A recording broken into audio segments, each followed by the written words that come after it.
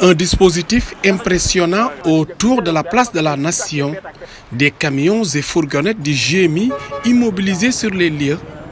La police et ses barricades veillent au respect de l'arrêté du préfet de Dakar interdisant la manifestation des opposants. Par rapport au dispositif sécuritaire, ne voulait pas, euh, si en tout cas si ça n'avait pas été fait et que derrière il y ait des, qu'il y ait des débordements, on aurait dit que l'État n'aurait pas pris les mesures qu'il fallait. Donc euh, c'est vrai, il y a des travaux pour BRT bi j'espère que ni soo xoolee arsenal bi ak dispositif bi ñu déployé yëpp fii tey pour interdire cette manifestation là yaakaar naa ni suñu ko defoon sérieusement encadrer manifestation bi dina am sans pour autant que problème am. Le motif de l'interdiction est diversement apprécié par les riverains. Certains ne sont pas convaincus par les arguments de l'autorité administrative.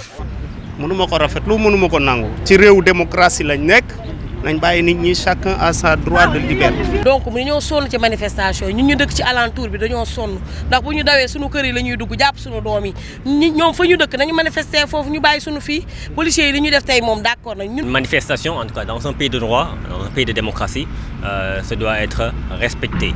Euh, mais parfois on peut avoir un contexte qui complique les choses. Donc c'est la raison pour laquelle moi je pense que euh, c'est un motif justifié. Maintenant, euh, libre à eux, en effet, de pou- pouvoir poursuivre euh, la demande administrative tout en respectant également euh, la légitimité de l'État.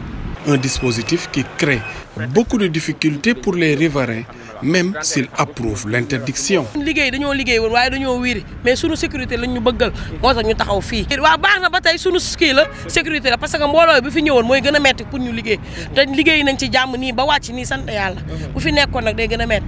parce que vraiment boo bëggee maa ngi bëgg a dem HLM mais il te faut que nga virer virer fu ne partout pour mën a accéder foofu. Euh, même si effectivement il faut comprendre la population, et même également pour les transports en commun qui, euh, qui déplorent en gros, la, en gros la situation parce que ça complique vraiment les choses et que derrière il y a beaucoup de- d'embouteillages, euh, peut-être à des endroits stratégiques de Dakar. La place de la Nation en état de siège ce vendredi, les forces de l'ordre ont investi les lieux.